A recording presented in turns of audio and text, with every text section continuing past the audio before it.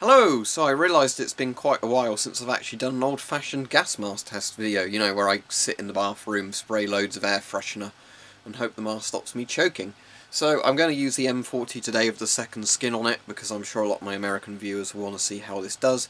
I think I already tested this with banana oil, and I know since testing it banana oil that it works. I'm just going to use the old C2 filter on it. If that lets vapours through, then I'll switch it to a newer filter, but we'll still see if this one works. So, you know, it's not going to be a complex video. I'm just going to basically sit in there, close the doors and windows, so it's a confined space, spray a load of it, and see if for a couple of minutes uh, I don't smell anything. And while I've got it on, we'll talk a bit about the mask. So the M40 has now been replaced in US Army service with the Avon M50, um, which I'll do a proper test video on as well at some point. But um, yeah, let's look at the M40 and see how well it does. So as you can see, the M40 is on my face. It appears to be pressurising, maybe I'll just get the straps a little bit tighter.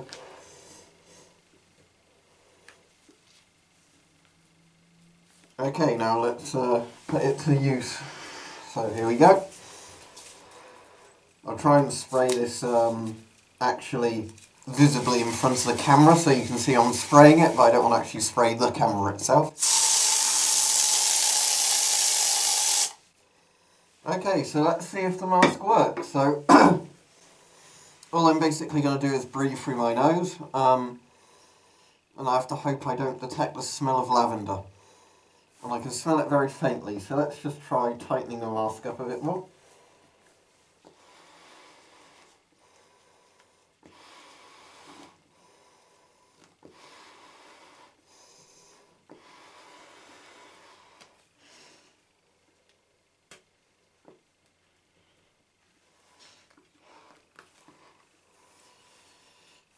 Can still smell it a bit, unfortunately. Um, that's better. I'd think the mask wasn't securely on my face at the chin area. So, the M40 was the US mask that replaced the M17 because, weirdly, America had designed one of the best masks ever. I was going to have to say apologies if my voice keeps going a bit strange.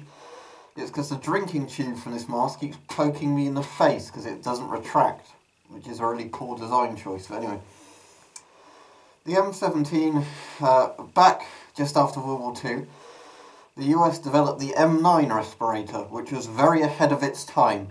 The M9 was, you know, a 60mm mask, it was lightweight, it was very futuristic for when it was made, you know, late 40s, early 50s, along with the British light anti-gas respirator, you know, the cutting edge of gas mask development. However, what happened then was that the US um, decided that rather than using a 60mm replaceable canister respirator, they wanted to make a futuristic cheek filter mask. Now, of course, the M17, despite being a well-made mask in terms of build quality, had the you know misfortune of being a cheek filter mask with the filters stored in the cheeks. You could not replace the filters when they were in use, meaning that if you were exposed to chemical or biological weapons, for example, you could not replace the filter if it started to run out with the mask on, so you were doomed. Um, you just had to hope you'd get out of the area before anything bad would happen. And of course, cheek filters being quite small and compact uh, wouldn't offer you all that long either. So, although America stuck with the M17 for quite a while, most European nations were using 40mm masks.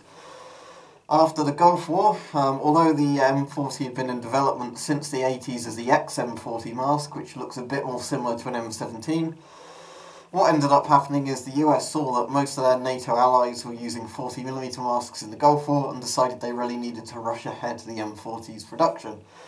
And this is the mask you got.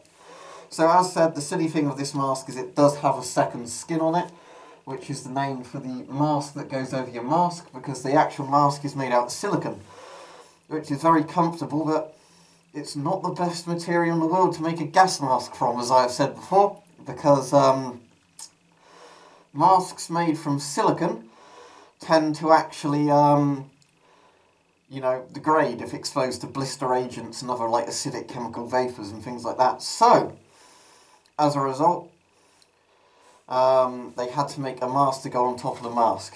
Um, so yeah, they should have just made it from butyl rubber or something sensible to begin with. However, this is the mask they got. It's not all too that bad, as I said, other than the fact that it requires a mask to go on its mask. The voice diaphragm's good enough. In general, it's a good design. I don't really like the straps on it. They're very cheap and elasticy. They could have done something better with those. But all in all, it's not a bad mask. Now, I've noticed if I actually move my jaw in a certain way, it breaks the seal of the mask, which you'll actually be able to hear on the camera. Hear that? That's broken the seal, so that's not a good design, is it? Again, maybe this is slightly too large for me, this mask. Maybe it's smaller than a better size. I don't know, because my eyes seem to be very central in the lenses. But overall, uh, yeah, that's a bad design if you sort of stretch your mouth out and the mask moves away from your face when you do that.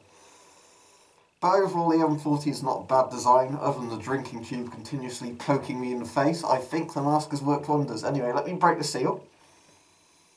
Mmm, very strong, mmm, nasty smell of lavender. Not that lavender smells nasty, but it does in that quantity. So yes, the M40 has worked. So, debrief time. How well did the M40 work? Well, as a respirator, it's fairly comfortable and it did its job. However, as I've said before, I don't like the straps on this mask. They're that very basic kind of elasticated strap. Over time, these lose their sort of stretchiness or firmness.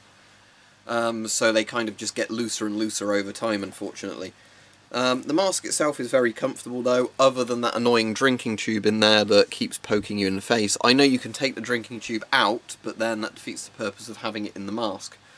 I definitely prefer myself the retractable style drinking tubes, you know, with a connector on that you can pull a lever and the tube goes in or out of your mouth that way. Strangely enough, the M17 did that much better than the M40. You know, having the lever where it would go forwards and back um, solves the problem perfectly. However, this having no lever, you know, kind of has a problem there. Overall though, I do like the M40, I think it's a good design. However, as I said, my main complaint with it seemed to be if I move my jaw a bit like this when I had the mask on, like that, um, it would push the mask away from my face, uh, breaking the seal, which is very bad. On most masks, if you move your face around or yawn or something like that, um, the, your face, you know, the seal of your face won't break because of how the mask is, um, you know, pressurised your face. However, with the M40, that's not the case. As said, this might not be the right size for me, I don't know. Maybe a small would have suited me better, but when I'm actually looking through this, my eyes do seem quite central in the um, lenses, so I really don't know. There you go, that's the test of the M40 done with the second skin on it. Not that you need second skin to protect you from lavender um, sort of air freshener, but there you are. So yeah, can't really complain about the M40 too much it was kind of a stopgap design, I guess, where the US made it just because they needed a 40mm mask. I think, in all honesty though, I, the US would have been better if they just kept upgrading the M9 until they'd made a scaled down M9 and 40mm with a voice diaphragm, a bit like Serbia did um, with the M2. But, you know, there you go. It, the M40 is what it is, it works perfectly well for this kind of test. Um, but as said, I'm still going to be an Avon fanboy and say I think the S10 was a better mask of this generation, and the FM12 certainly was a lot better than the M40, but there you go.